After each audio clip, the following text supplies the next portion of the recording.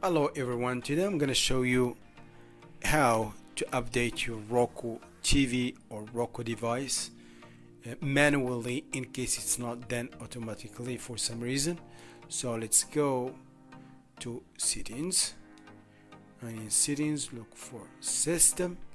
System scroll down to system update and enter.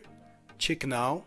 It's gonna give you the details about software version uh, I have the latest one 9.4.0 build 4200 it says there's a little info there. Your TV checks for software and channel updates automatically once per day.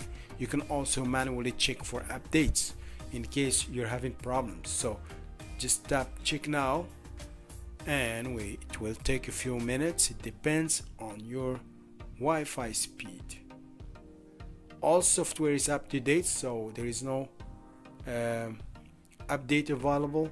So everything is good. So that's it guys. That's what I wanted to share with you today. And you even see the date that was uh, that was updated. 16 of February at 12:55 p.m. last updated uh, February the 2nd and after that February the 16th which is today so that's it guys. That's what I wanted to share with you today. Please subscribe leave your comments if you have any questions. Have a good day